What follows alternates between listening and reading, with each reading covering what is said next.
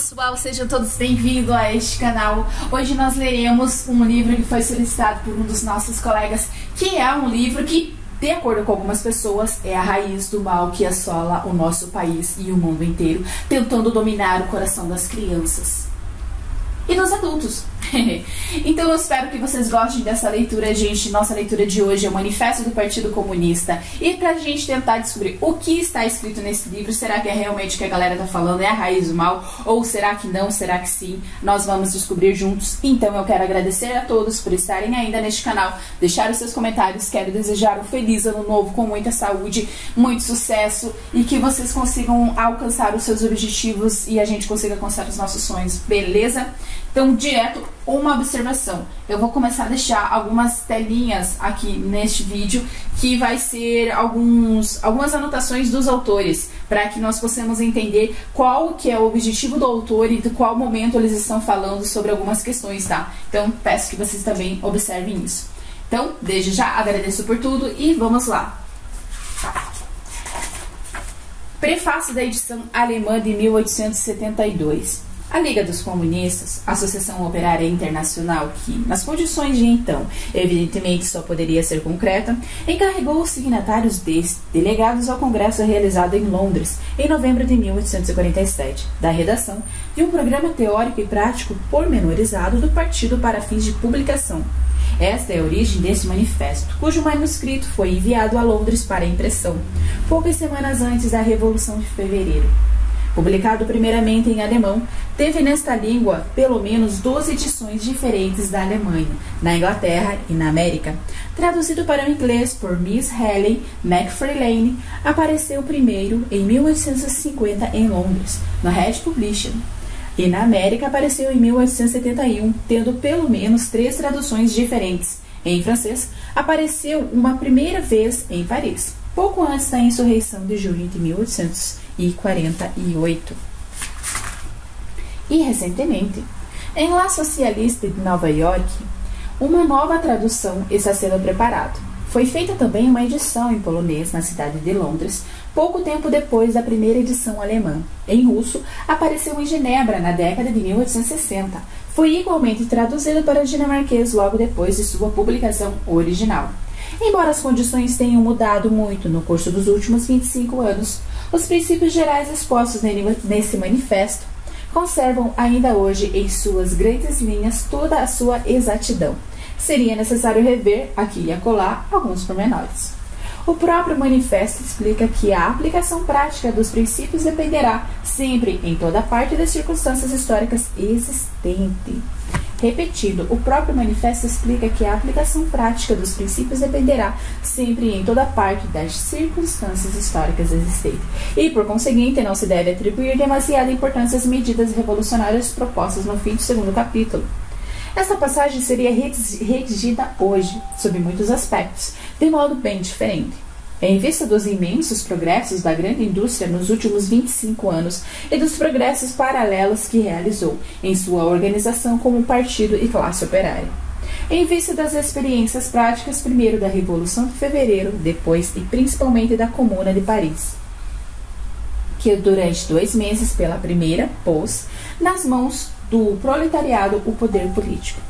Esse programa se tornou antiquado hoje em determinados pontos. A Comuna, de modo particular, demonstrou que a classe operária não pode se contentar em, em apoderar-se da máquina do Estado tal qual existe e fazê-lo funcionar em benefício próprio.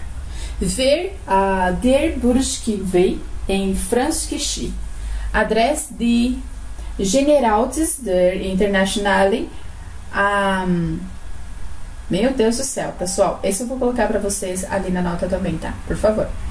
A Guerra Civil na França. Mensagem do Conselho Geral da Associação Internacional dos Trabalhadores, onde essa ideia é mais longamente desenvolvida. Além disso, é evidente que a crítica da literatura socialista apresenta uma lacuna no período atual. Por quanto se detém em 1847 e de, modo, e de igual modo se as observações sobre a posição dos comunistas com a relação dos diferentes partidos de oposição, que é no capítulo 4. Hoje são ainda exatas os seus princípios, envelheceram, contudo, em sua aplicação, porque a situação política se modificou de ponta a ponta e a evolução histórica fez desaparecer a maioria dos partidos ali enumerados. Entretanto, o manifesto é um dos, dos documentos históricos que não nos atribuímos o direito de modificar. Uma edição posterior poderá talvez ser precedida de uma introdução que pudesse preencher a lacuna existente entre 1847 e os nossos dias. A presente reimpressão nos colheu de modo tão inesperado que não nos deu tempo para escrevê-la. Londres, 24 de junho de 1872. Karl Marx, Frederick Engels certinho, pessoal. Agora nós continuaremos na página 39, na página 40, que entra direto no texto sobre Manifesto do Partido Comunista.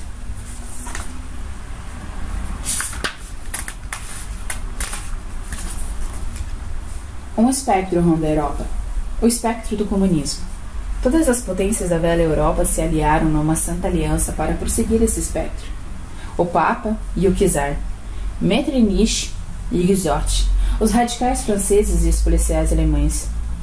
Qual o partido de oposição que não foi acusado de comunismo por seus adversários no poder?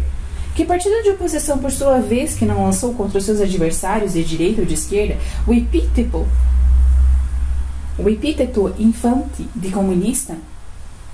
De fato, decorrem duas conclusões. O comunismo já é reconhecido como uma força de todas as potências da Europa já é tempo de os comunistas exporem ao mundo inteiro seus conceitos, seus objetivos e suas tendências e de oporem à lenda do espectro do comunismo o manifesto do próprio partido. Foi com essa finalidade que os comunistas de diversas nacionalidades se reuniram em Londres e redigiram o manifesto apresentado a seguir. O qual será publicado em inglês, francês, alemão, italiano, flamengo e dinamarquês. Capítulo 1 Burgueses e proletariados. A história de todas as sociedades até os nossos dias é a história de luta de classes. Homem livre e escravo, patrício e plebeu, barão, servo, mestre e companheiro, numa palavra, opressores e oprimidos, sempre estiveram em constante oposição uns aos outros e travaram e travaram uma batalha ininterrupta ora aberta, ora dissimulada, uma luta que terminava sempre com uma transformação revolucionária de toda a sociedade ou com a destruição de toda a classe de luta. Nas primeiras épocas da história, encontramos quase por toda parte uma organização completa da sociedade, em classes distintas, uma hierarquia variada de condições sociais. Na Roma Antiga, encontramos os patrícios, cavaleiros, plebeus, escravos, na Idade Média, senhores feudais, vassalos, mestres e corporação, companheiros, servos e ainda, em cada uma dessas classes, uma hierarquia peculiar. A sociedade burguesa moderna, surgida nas ruínas da sociedade feudal, não aboliu os antagonismos de classes. Nada mais fez que substituir as antigas por novas classes, por novas condições de opressão, por novas formas de luta. Entretanto, nossa época, a época da burguesia, se distingue por ter simplificado os antagonismos de classe. A sociedade se divide cada vez mais em dois grandes campos inimigos, em duas grandes classes de ti que diametralmente opostas, a burguesia e o proletariado. Dos servos da Idade Média nasceram os pequenos burgueses das primeiras cidades. Nessa população dos municípios surgiram os primeiros elementos da burguesia. A descoberta da América, a circunnavegação da América abriram um novo campo de ação à burguesia nascente. Os mercados das Índias Orientais e da China, a colonização da América, o comércio das colônias, a multiplicação dos meios de troca e, em geral, das mercadorias deram no comércio a navegação, a indústria um impulso até então desconhecido e, em consequência, favoreceram um rápido desenvolvimento do elemento revolucionário na sociedade feudal em decomposição. O antigo modo de exploração feudal ou corporativo da indústria não conseguia mais atender as necessidades que aumentavam em, sem acessar à medida que os novos mercados se abriam. A manufatura tomou seu lugar. A pequena burguesia industrial suplantou os mestres artesãos. A divisão do trabalho entre diferentes corporações cedeu ao lugar à divisão do trabalho dentro de cada oficina. mas os mercados continuavam a crescer incessantemente. E a demanda também seguia crescendo. A manufatura, por sua vez, se tornou insuficiente. Então, o vapor e a máquina revolucionaram a produção industrial. A grande indústria moderna destronou a manufatura. A média burguesia industrial se deu lugar aos milionários da indústria, os chefes de verdadeiros exércitos industriais, aos burgueses modernos. A grande indústria criou um mercado mundial que a descoberta da América havia preparado. O mercado mundial acelerou prodigiosamente o desenvolvimento do comércio da navegação das vias de comunicação terrestres. Esse desenvolvimento reagiu, por sua vez, sobre a extensão da indústria, e na mesma medida em que a indústria, o comércio, a navegação, as ferrovias se desenvolviam, a burguesia também crescia, aumentando seus capitais e colocando em segundo plano todas as classes ligadas pela Idade Média. Vemos, portanto, que a própria burguesia moderna é produto de um longo processo de desenvolvimento, de uma série de revoluções nos modos de produção e de troca. A cada uma dessas etapas da evolução que a burguesia percorria correspondia a um progresso político, classe oprimida pelo despotismo feudal, associação armada que se administrava a si mesma na comuna. Aqui, república urbana independente, acolá, terceiro estado tributário da monarquia.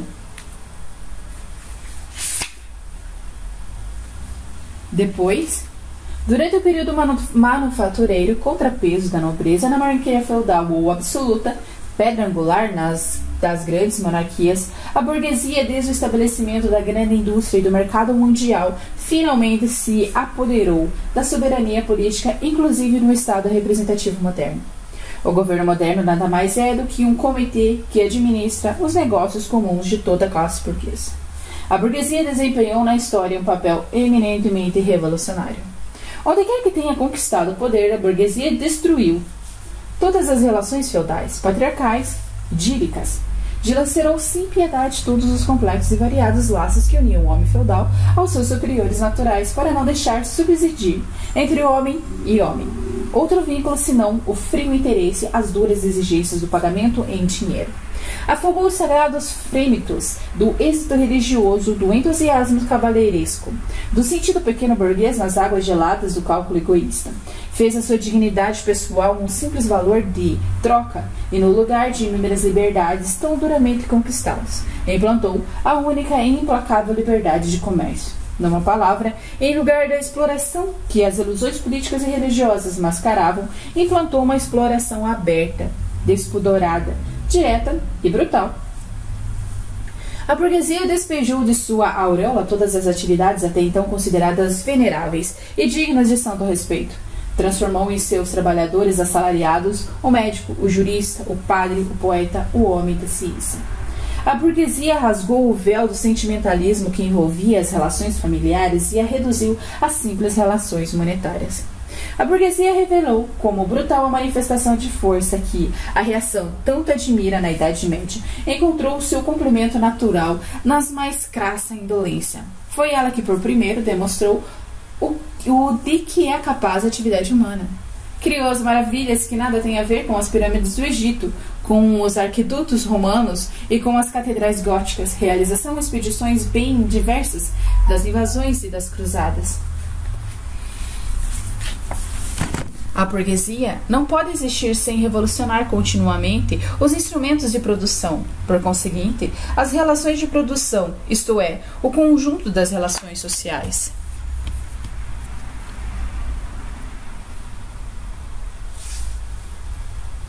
A conservação inalterada do antigo modo de produção era, pelo contrário, para todas as classes industriais anteriores, a condição primeira de sua existência. Essa revolução contínua de produção, desse constante abalo de todo o sistema social. Essa agitação e essa insegurança perpétuas distinguem a época burguesa de todas as precedentes. Todas as relações sociais fixas e enferrujadas, com o seu cortejo de noções e ideias antigas e veneráveis, se, dissolver, se dissolvem. Aquelas que a substituem envelhecem antes mesmo de se consolidarem. Tudo que possuía solidez e estabilidade se volatizava ou melhor, se volatiza. Tudo que era sagrado é profano. E os homens são finalmente obrigados a encarar com um olhar mais lúcido as suas condições de existência e as suas relações recíprocas. Impelida pela necessidade de mercados sempre novos, a burguesia invade todo o globo terrestre. Necessita instalar-se em toda parte, explorar toda parte, estabelecer as relações em toda parte. Por meio da exploração do mercado mundial, a burguesia confere um caráter cosmopolita à produção e ao consumo de todos os países. Para grande desespero dos reacionários, ela tirou da indústria sua base nacional.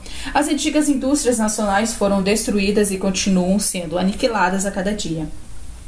São suplantadas por novas indústrias cuja introdução se torna uma questão de vida ou morte para todas as nações civilizadas, indústrias que não empregam a mais matérias-primas locais, mas matérias-primas provenientes das mais remotas regiões e cujos produtos são consumidos não somente no outro no próprio país, mas em toda parte do mundo. Em lugar de velhas necessidades satisfeitas pelos produtos nacionais, surgem as necessidades novas que exigem para serem satisfeitas os produtos das regiões e dos climas mais distantes. Em lugar do antigo isolamento e da autossuficiência local e nacional, se desenvolvem relações universais, uma interdependência universal das nações. O que é verdade na produção material não é menos na produção intelectual. Os produtos intelectuais de uma nação se tornam propriedade comum de todas. A unilateralidade unilateralidade e o, o exclusivismo nacionais se tornam cada vez mais impossíveis, e na multiplicidade das literaturas nacionais e locais surge uma nova literatura mundial. Com o rápido aperfeiçoamento dos instrumentos de produção e o infinito melhoramento dos meios de comunicação, a burguesia arrasta para a corrente da civilização até mesmo as nações mais bárbaras.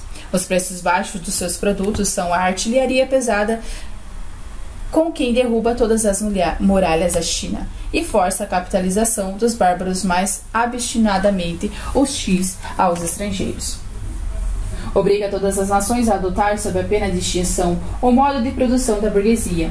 Obriga-as a introduzir a pretensa civilização, isto é, a se tornarem burguesas. Numa palavra, ela cria para si um mundo à sua própria imagem. A burguesia submeteu a zona rural à cidade. Criou as cidades enormes, aumentou prodigiosamente a população urbana em relação à rural, e desse modo arrancou uma parte considerável da população do embrutecimento da vida rural, assim como submeteu a área rural à cidade. Os países bárbaros, os semi-bárbaros, os países civilizados subordinou também os povos camponeses aos burgueses, o, Oriente ao Ocidente. A burguesia suprime cada vez mais a dispersão dos meios de produção, da propriedade e da população. Ela aglomerou a população, centralizou os meios de produção e concentrou a propriedade em poucas mãos. A consequência fatal dessas mudanças foi a centralização da política. Províncias independentes ligadas entre si quase somente por vínculos federativos com interesses, leis, governos e tarifas aduaneiras diferentes foram reunidas numa única nação, com um só governo, uma só legislação, um só interesse nacional de classe, sobre uma só barreira alfandegária. A burguesia, no curso de uma dominação de classe de apenas um século, criou forças produtivas para mais, para mais numerosas e mais colossais que todas as gerações passadas juntas. A subjugação das forças da natureza, as máquinas, a aplicação da química, a indústria e a agricultura a navegação a vapor, as ferrovias, os telégrafos elétricos, o desmatamento dos continentes inteiros, a navegabilidade dos rios, a populações inteiras brotadas como como por encanto, que século anterior poderia suspeitar semelhantes forças produtivas estavam adormecidas no seio do trabalho social? Aí está, portanto, o que vimos. Os meios de produção e de troca, é a base dos quais se edificou a burguesia, foram criados no interior da sociedade feudal. Num certo estágio de desenvolvimento desses meios de produção e de troca, as condições nas, nas quais a sociedade feudal produzia e trocava.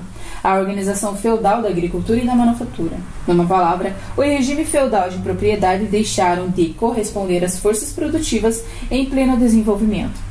Entrava uma produção em vez de levá-lo a progredir. Transformava-se em outras tantas correntes. Era necessário rompê-las. E foram rompidas. Em seu lugar foi implantada a livre concorrência com uma constituição social e a política adequada, com a supremacia econômica e a política de classe burguesa. Assistimos hoje um processo análogo às condições burguesas da produção de troca, o regime burguês da propriedade, a sociedade burguesa moderna, que fez surgir então os poderosos meios de produção e de troca. Se assemelham ao feiticeiro, que não consegue mais dominar as potências infernais que evocou.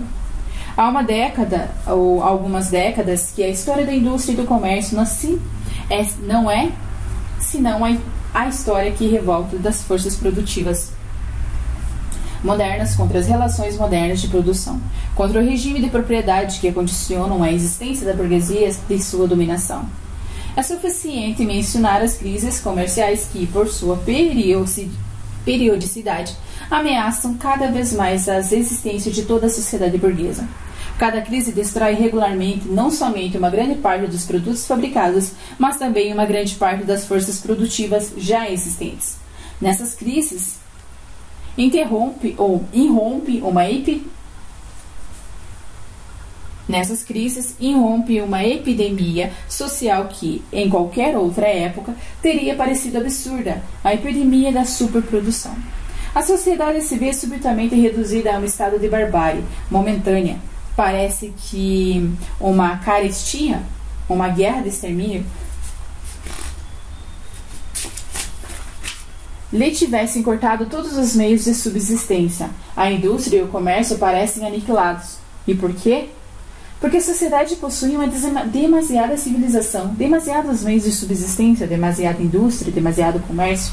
As forças produtivas de que se dispõe não favorecem mais a civilização burguesa e o regime de propriedade burguesa. Pelo contrário, tornaram-se poderosos demais para esse regime que então passa a ser por elas tolhido.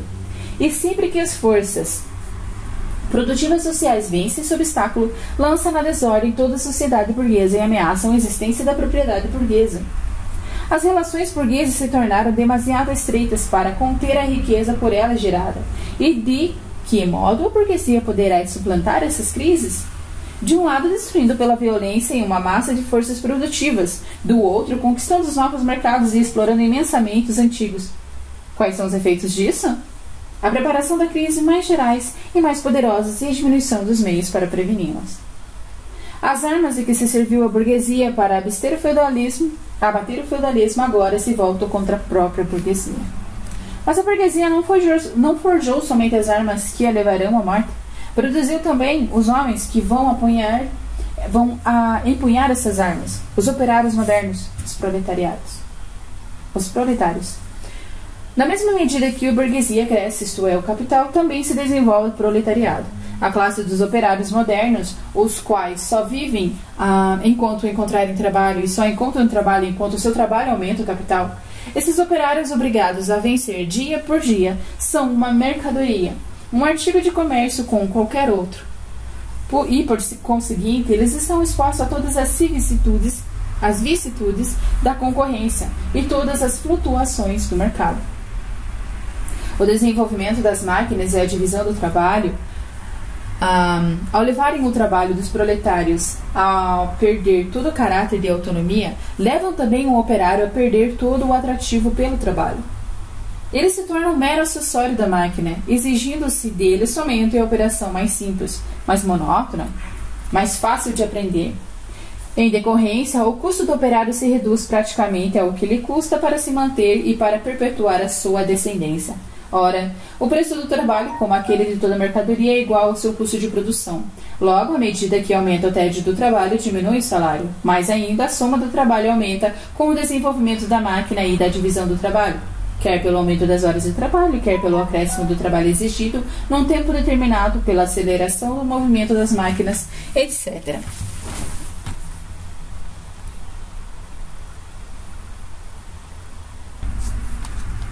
A máquina moderna transformou a pequena oficina do mestre, artesão patriarcal, da grande fábrica do capitalista industrial. Massas de operários comprimidos na fábrica são organizados militarmente. Sempre soldados da indústria são colocados sob a vigilância de uma hierarquia completa de suboficiais e de oficiais, não são apenas servos da classe burguesa, do Estado burguês, mas também, a cada dia, a cada hora, servos da máquina, do contramestre e, sobretudo, do próprio burguês fabricante. Esse despotismo é tanto mais mesquinho, odioso, exasperador, quanto mais abertamente proclama que o lucro é o seu único objetivo. Quanto menos habilidade e força e trabalho manual exige, isto é, quanto mais a indústria moderna progride, tanto mais o trabalho dos homens é suplantado por aquele que, por aquele das mulheres e das crianças. As diferenças de sexo e de idade não têm mais importância social para a classe operária. Há apenas instrumentos de trabalho, cujo custo varia de acordo com a idade e o sexo. Logo depois que o operário sofreu a exploração do fabricante, que recebeu o seu salário, torna-se presa dos seus outros membros da burguesia, o proletariado do imóvel, o dono do armazém, o agiota, etc. Pequenos industriais, comerciantes e os que vivem de pequenas rendas, artesãos e camponeses, toda a escala inferior das camadas médias de outrora, caem no proletariado, em parte porque o seu pequeno capital não, não lhes permite realizar os empreendimentos da grande indústria e sucumbem na concorrência com os grandes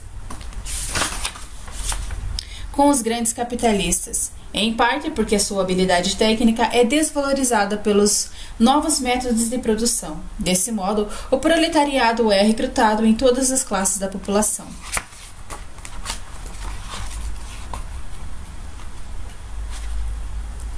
O proletariado passa por diferentes fases de desenvolvimento. A sua luta contra a burguesia começa com a sua própria existência.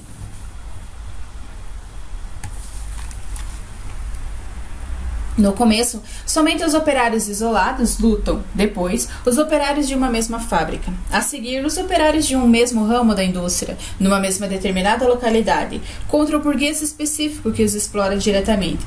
Não dirigem os seus ataques somente contra as relações burguesas de produção, mas os dirigem contra os próprios instrumentos de produção. Destroem as mercadorias estrangeiras que lhe fazem concorrência, quebram as máquinas, incendiam as fábricas que se empenham em recuperar a posição perdida de artesão na Idade Média. Nessa fase, os operários eles formam uma massa disseminada por todo o país e desgastada pela concorrência. A ação da massa dos operários não é ainda consequência de sua própria união, mas da união da burguesia que, para atingir os seus próprios objetivos políticos, tem de pôr em movimento todo o proletariado e tem ainda provisoriamente, provisoriamente provisoriamente o poder de fazê-lo. Durante essa fase, portanto, os proletários não, não combatem os seus inimigos, mas os inimigos dos seus inimigos, isto é, os restos da monarquia absoluta, os proletários os proprietários de terras, os burgueses não industriais, os pequenos burgueses.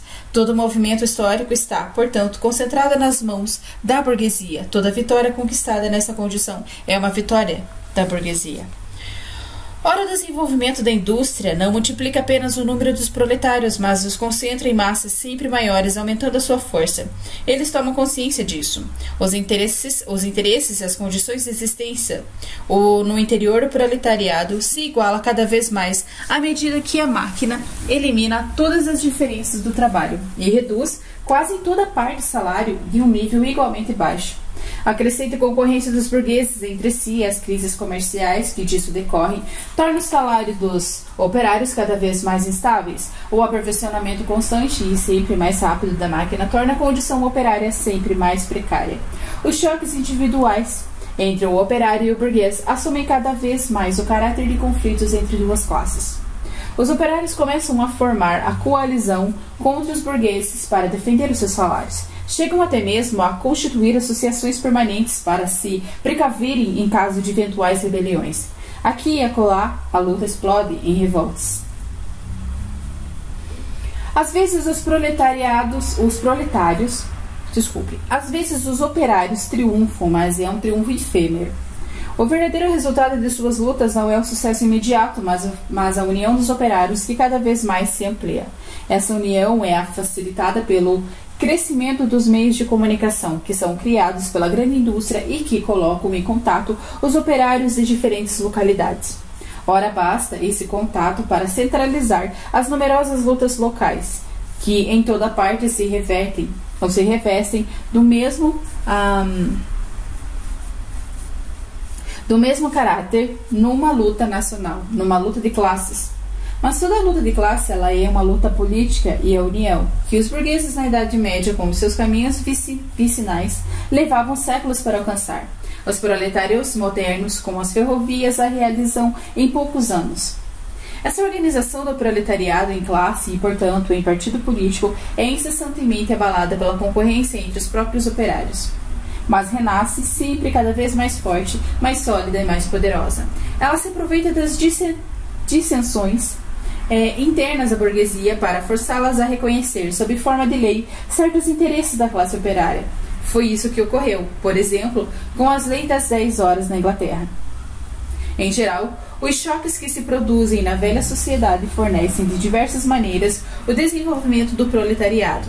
A burguesia vive num contínuo estado de guerra, primeiramente contra a aristocracia, depois contra os setores da própria burguesia cujos interesses entram em conflito com o progresso da indústria e sempre finalmente contra a burguesia de todos os países estrangeiros. Em todas as lutas, ela se viu obrigada a apelar para o proletariado a recorrer à sua ajuda e, desse modo, arrastá-lo para o movimento político.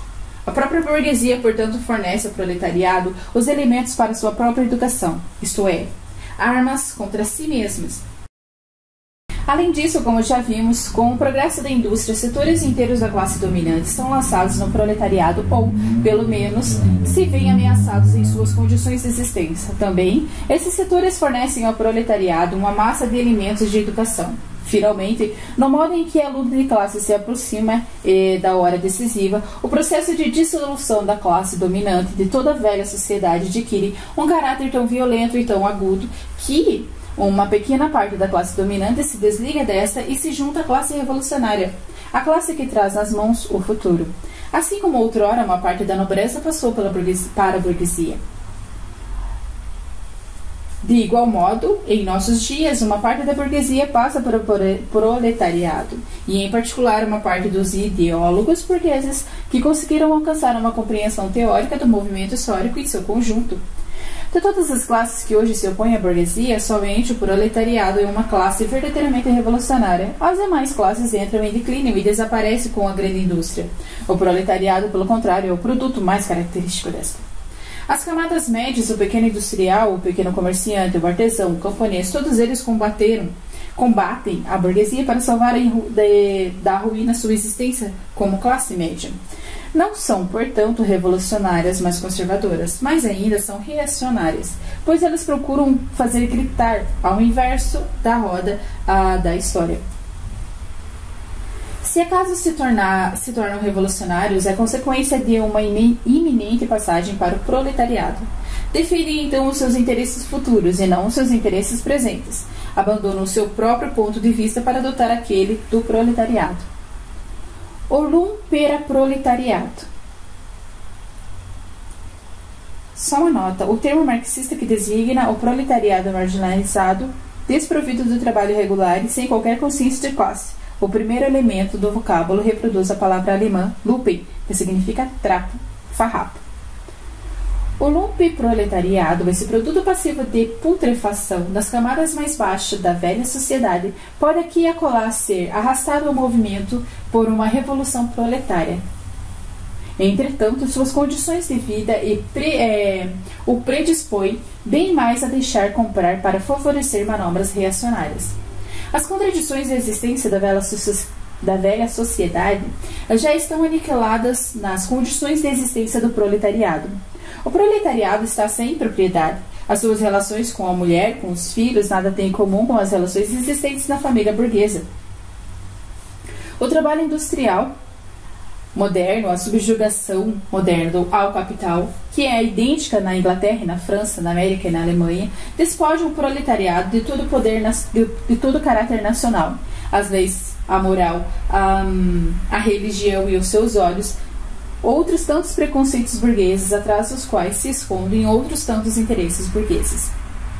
Todas as classes que no passado tomaram o poder procuravam consolidar a sua posição adquirida, submetendo toda classe às condições que lhes asseguram os seus próprios rendimentos.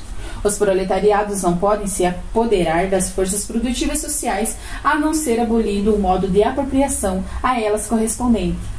E, por conseguinte, todo modo de apropriação em vingar até os nossos dias. Os proletariados nada têm desceu a salva tem desceu a salva, salvaguardar e tem em si para destruir toda a garantia privada, toda a segurança privada anterior. Todos os momentos históricos foram até aqui movimentos de minorias ou de interesse de minorias. O movimento do proletariado é o movimento espontâneo de imensa maioria de interesses da imensa maioria. O proletariado, a camada mais baixa da sociedade atual, ele não pode se erguer, se estabelecer, sem fazer saltar pelos ares toda a superestrutura das camadas que constituem a sociedade oficial. A luta do proletariado contra a burguesia, embora não seja no fundo uma luta nacional, passa a sê-lo em sua forma. O proletariado cada vez é, de cada país deve necessariamente, antes de mais nada, acabar com a sua própria burguesia. Ao traçarmos em grandes linhas, em fases de desenvolvimento do proletariado, reproduzimos a história da guerra civil, mais ou menos oculta, que ronda a sociedade atual até o momento em que é, explodem em revolução aberta e em que o proletariado funda a sua dominação com violenta derrubada da burguesia. Todas as sociedades anteriores, como vimos, repousaram no antagonismo entre as classes opressoras e as classes oprimidas. Mas para oprimir uma classe é necessário que, pelo menos, garantir condições de existência que lhe permitam viver na servidão. O servo, durante o período de plena servidão, conseguiu a tornar-se um membro de uma comuna, assim como o pequeno burguês conseguiu se tornar sob o jugo do absolutismo feudal. O operário moderno, ao contrário, em vez de se elevar com o progresso da indústria, desce cada vez mais, decaindo até ao mesmo abaixo das condições de vida da sua própria classe. O operário se torna um pobre, pauperismo cresce muito mais rapidamente que a população e a riqueza. Fica, portanto, evidente que a burguesia é incapaz de desempenhar por muito mais tempo o seu papel de classe dirigente da sociedade e se impor à sociedade.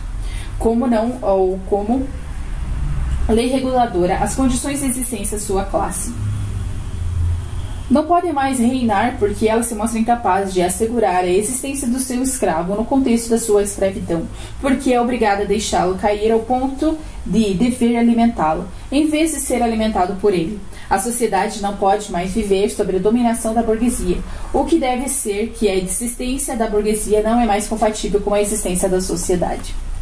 A condição essencial para a existência e para a dominação da classe burguesa é a acumulação da riqueza nas mãos dos particulares, a formação e o aumento do capital. A condição de existência do capital é o trabalho assalariado. O trabalho assalariado se baseia exclusivamente na concorrência dos seus operários entre si. O progresso da indústria, do qual a burguesia é o agente sem vontade própria e sem resistência, substitui o isolamento dos operários, resultante de sua concorrência, por sua união revolucionária, resultante da associação. Assim, o, desempenho, o desenvolvimento da grande indústria acaba, sob os pés da burguesia, o próprio terreno sob o qual se estabeleceu. O seu sistema de produção e de apropriação. A burguesia, então, produz tudo, antes de tudo, os seus próprios coveiros. O seu declínio e a vitória do proletariado, eles são igualmente inevitáveis.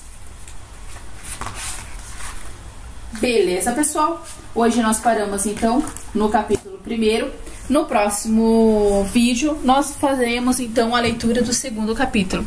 Espero que ela esteja entendível, que vocês consigam entender, que vocês gostem da leitura e que ela possa ser uh, um pontinho para esclarecer o que significa as coisas que nós vemos dentro da internet, dentro das nossas redes sociais. Será que o tal do Partido Comunista e o Manifesto do Partido Comunista é realmente aquilo que eles falam? Será que sim? Será que não? Aí vocês tiram as suas conclusões.